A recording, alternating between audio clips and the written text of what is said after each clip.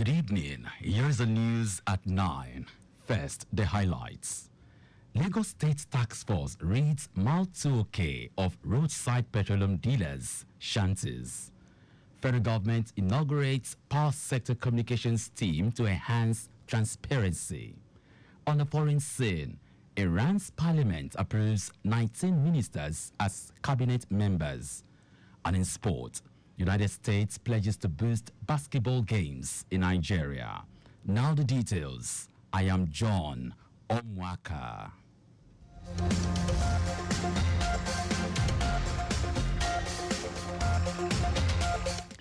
Lagos State Task Force has taken critical steps to curb the escalating challenges posed by roadside vendors and the proliferation of shanties along Maltuoke on the Oshodi-Apapa Expressway. This swift action is part of the planned programs of the chairman of the agency, Ade Adetayo Akerele, to protect and preserve the environment in line with the Themes Plus agenda of the state government. Akerele said among the most pressing issues addressed was the illegal sale of petrol and diesel by the roadside, where over 2,000 liters of petroleum products were seized.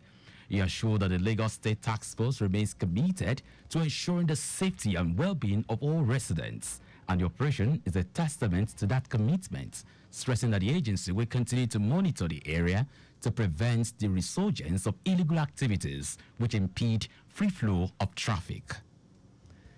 The Lagos State Health Management Agency, LASHMA, has restated its commitment to sensitize residents of the state on the benefits of Ilera Eko and the responsibilities of service providers in ensuring the protection of the rights of consumers under the Lagos State Health Scheme, LSHS. Permanent Secretary, Lashma, Emmanuella Zamba, said this at a media parley jointly organized by the Lagos State Health Management Agency, LASHMA, and the Lagos State Consumer Protection Agency, LASCOPA. Zamba said the program was aimed at discussing significant developments, innovations, and consumer protection in health management services across Lagos State in commitment to the Lera Eco scheme, which is now mandatory for all Lagosians in a bid to access quality healthcare delivery in the state. We are having a media parley which marks the collaboration between the agency and with the Lagos State Consumer Protection Agency. And what this collaboration is all about is to show that Lashma is taking putting his best foot forward to ensure that even though Mr. Governor has come out to say with the executive order that the social health insurance plan is now mandatory, we want to show consumers that this plan, even though it is now mandatory, we are here to serve you. We are going to ensure that you get quality services. We are going to maintain the affordability of the scheme, and we are here to ensure that your rights are not infringed upon. Once you become an Ilera enrollee, you are, should be assured of quality services. You should have be sure that the agency has a listening ear, and we are collaborating with this agency who is responsible for consumer protection. The general manager of Lascopa, Afolabi Solebo, noted that the agency had resolved over time over 9,000 cases bordering on the protection of consumers' rights in the state. Solebo urged beneficiaries of the Ilera Eko scheme to seek redress through the agency whenever their rights have been infringed upon by service providers or they did not get value for their money. The bottom line is that if any of these uh, either private or public um, hospitals are keen into this scheme, we expect quality and quality and standard uh, services being rendered to the beneficiaries who we refer to as uh, consumers. So I think it's a very laudable thing and uh, the, the public should be well assured that the Lagos State Consumer Protection will always protect their rights no matter who is involved and no matter whose ox is got. That is uh, rendering quality and standard uh, services to members of the public. In their testimonies, in their testimonials, beneficiaries of the health insurance scheme commended the Lagos state government for the initiative which had brought succor by addressing the health challenges of residents as well as staff of both private and public organizations. So I registered all of our employees on the platform uh, since over a year now.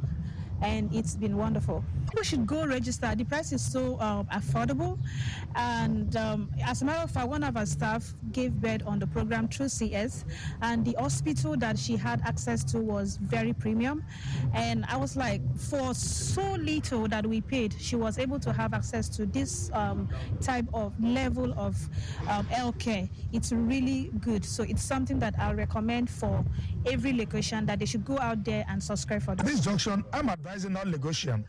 Nigeria has become a structured society. The best you know, the best you can take advantage of your society. I can tell you, your health is secured for the next one year. We all know what health challenges people are going through in the world. They urged the agency not to relent in its efforts to ens- in ensuring quality service delivery to Lagosians. The Lagos State Employment Trust Fund, LSETF, and the United States African Development Foundation, USADF, have signed a memorandum of understanding to uplift the lives of citizens, especially those in vulnerable and undeserved communities. Commissioner for Wealth Creation and Employment, Akinyemi Ajigbotafe, emphasized that the event aims to forge a powerful partnership symbolizing collective commitment to uplifting the lives of the citizens.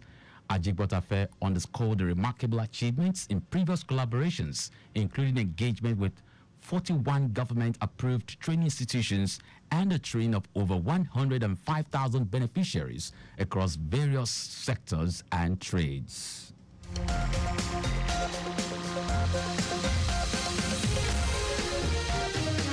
And now to the rest of the stories. The federal government has inaugurated a power sector communications team in a bid to enhance transparency and communication within the power sector. Minister of Power, Adebayo Adelabu, emphasized the importance of effective communication in addressing the sector's challenges. Adelabu described the team as a strategic initiative designed to bridge the gap between the power sector and the public. He noted that the power sector, which is often misunderstood and fraught with challenges, requires a platform for clear and consistent communication to build trust and confidence. Chairman of the Power Sector Communications Team, Bolaji Tunji, stressed the importance of stakeholders' engagement, noting that regular dialogues, workshops, and forums will be organized to foster better understanding and cooperation among all players in the power sector value chain. President Bola Tinubu has mourned the victims of the devastating flood in Jigawa State, assuring that the state government of his administration's support. Over 16 people were killed and more than 3,000 were displaced in flood disasters in 14 local government areas of the state. The president, in a statement by spokesman Ajuri Ngelale, condoled the state government over the issue that also displaced many residents of the state. The statement added that the president prays for the repose of the souls of the deceased and assures the people of Jigawa of his administration's support at this difficult time. Now to foreign news. Iran's parliament has approved all 19 ministers of President Masoud Pezeshkian, the first time in more than two decades a leader has been able to get all of his officials through the body. The cabinet approved on Wednesday after days of debate is cross-factional, reflecting the president's focus on consensus.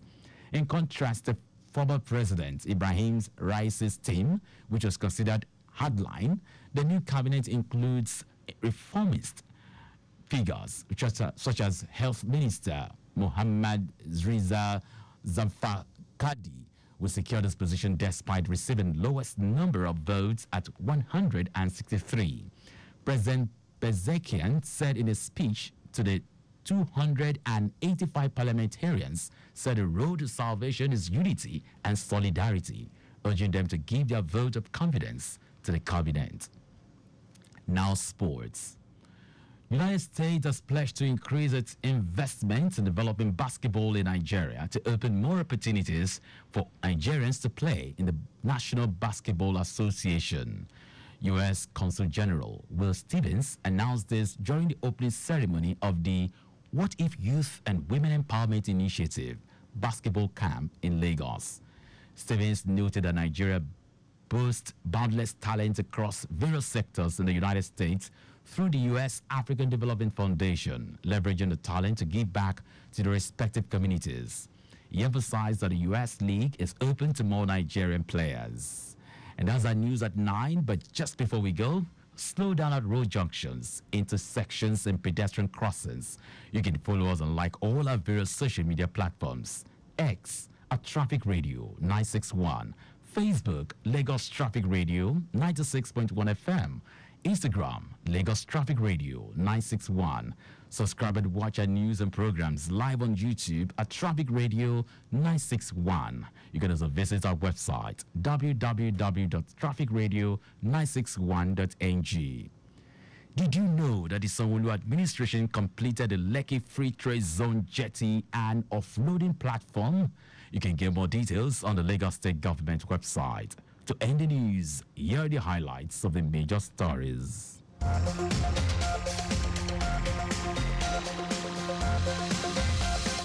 Lagos State Task Force has taken critical steps to curb the escalating challenges posed by roadside vendors and the proliferation of shanties along Mile 2OK on the Oshodi-Apapa Expressway.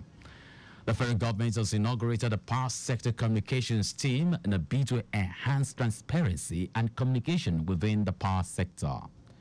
We also told you that Iran's parliament has approved all 19 ministers of President Masoud Pezeshkian. The first time in more than two decades, a leader has been able to get all of his officials through the body. And in sport, the United States has pledged to increase its investments in developing basketball in Nigeria to open more opportunities for Nigerians to play in the National Basketball Association. For contact with the newsroom, send a message to info at trafficradio961.ng. That ends a news broadcast compiled by Sadiq Yusuf. I am John Omoaka. Thank you very much for listening.